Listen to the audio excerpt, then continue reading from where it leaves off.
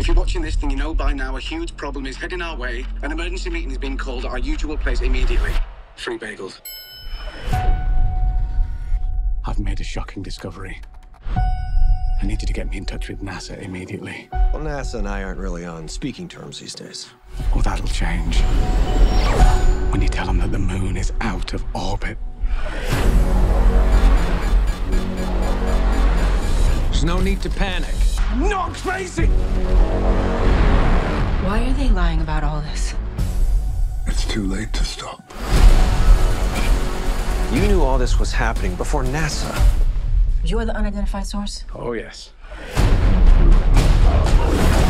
We're dealing with an intelligent entity. We're planning a mission to attack this thing. I'm asking you for your help. Say yes, Brian. I need you to be brave. If the moon really is what you think it is, suit up. You have got a big gravity wave coming your way. You have to launch now. Did he say gravity wave? Trouble on the way. We're underwater, guys! Uh, that's crazy.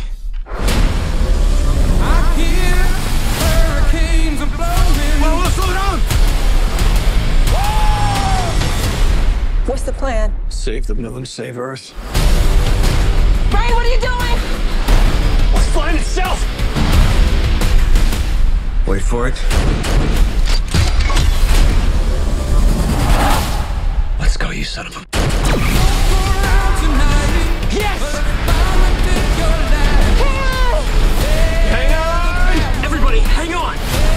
you home.